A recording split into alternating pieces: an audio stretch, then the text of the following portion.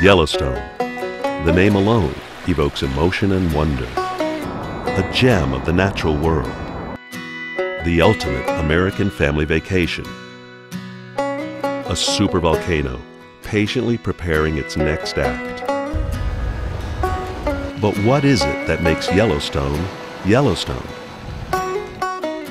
From the time of the Hayden Geological Survey in 1871, scientists have tried to understand why there is a high plateau with dramatic hydrothermal features cutting through the middle of the Rocky Mountains.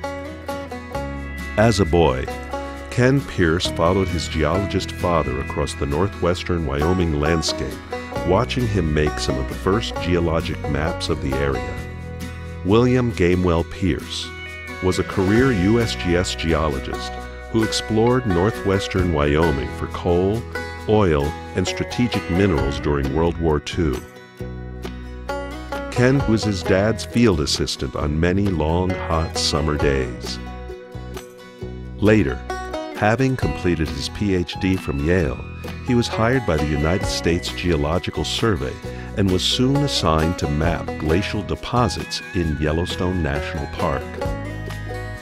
Thus began a career-long scientific investigation into the geologic processes that shape the greater Yellowstone ecosystem.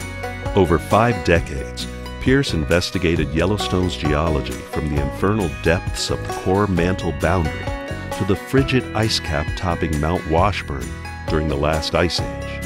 He studied the pervasive interaction of the subsurface mantle plume with the overlying landscape and climate.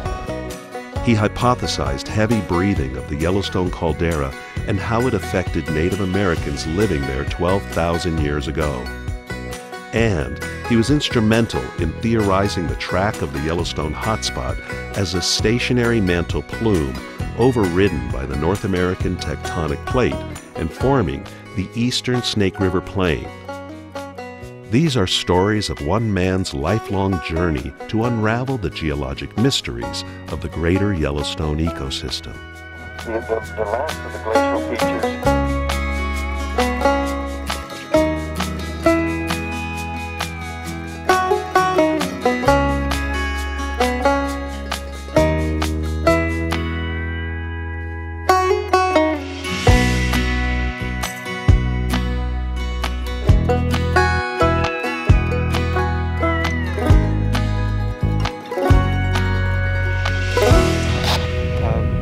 on uh, Crevice Lake and staying at the Lower Blacktail Cabin and everything is okay.